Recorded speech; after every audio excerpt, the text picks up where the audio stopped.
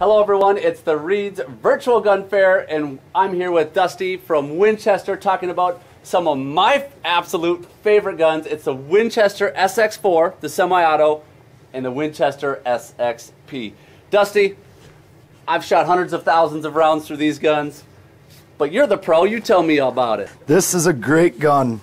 Um, one of the coolest things about this gun is it's so reliable and it's a gas operating system. It hardly kicks. That's how you Oh. can shoot that many rounds, right? Huge, huge. And as I've traveled around the country and let people shoot my guns, that's one of the number one things they'll say is one, this is pretty light, Yeah. just around seven pounds. Yeah. And then the number two thing is it has very little recoil, which I absolutely love about the SX4. The really nice thing about this gun also is the balance, the oversized handle and release.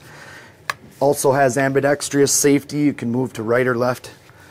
And Now- the Inflex recoil pad. Yeah, all great features. And also, one of my number ones is the price point that this is at. I don't think can be beat by any other semi auto shotgun. Absolutely great value.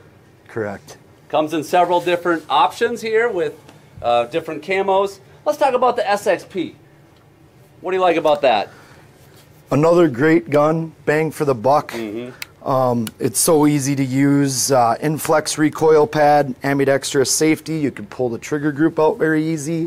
Four locking lugs in this bolt. Once you shoot, you basically have to let it come back, and you just have to remember to put it forward. It's a very reliable pump, and like I said, very affordable. Yeah, it does like half the work for you. If you shoot it, I do this all the time, shoot it one handed. Yeah. The shell will eject by itself. You bring the slide back forward, fast follow up shots. SXP, another great value and without sacrificing quality. Great guns all the way around. If you want to see the best price on the SX4 or the SXP during the Reed's Virtual Gun Fair, April 30th through May 9th, make sure you check the link down below. Dusty, thanks so much for sharing. Until next time, we'll see you later.